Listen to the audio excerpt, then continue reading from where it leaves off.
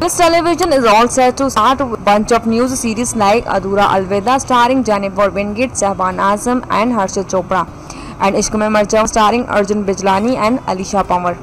Ishq Mein Mar Jawa is a thriller love saga and viewers will get to witness their favorite Arjun Bijlani as the crazy character. This thriller saga is an adaptation of Bollywood movie Chalbaz starring Sri Devi. Ishq Mein Mar Jawa is the story of Deep and Arohi who will be seen meeting each other in the hilly region of Shimla. Deep will be seen trapping Arohi in his love and will be seen promising Arohi for marriage.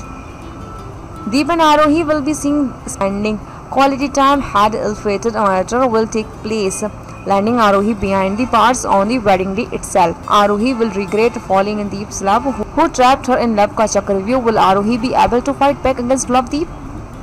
What do you have to say about it? Are you excited for the show? Leave your comments below. Keep watching Tellymirch for more latest news and updates about your favorite shows. Don't forget to subscribe, do like and share.